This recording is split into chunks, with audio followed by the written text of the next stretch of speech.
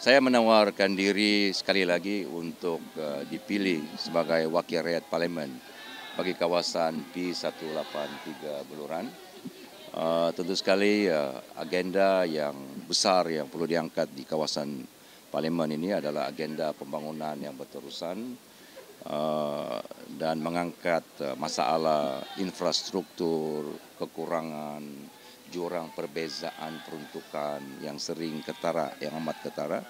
yang masih berlaku di kawasan uh, luar bandar Beluran ini. Jadi uh, tentu sekali uh, agenda ini merupakan satu agenda yang berterusan, yang memerlukan sentuhan uh, dan gerak kerja berterusan untuk memastikan masalah yang hadapi di kawasan luar bandar ini dapat ditangani dan didengar oleh pihak uh, kerajaan.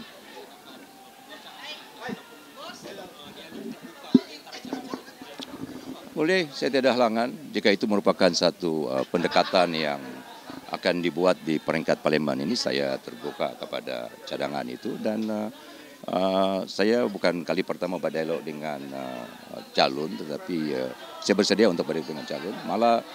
Uh, saya juga sering berdialog dengan uh, masyarakat kampung termasuk generasi anak muda dan mendengar aspirasi mereka uh, uh, membawa aspirasi ini di peringkat nasional. Pendekatan saya selama ini adalah untuk bersua muka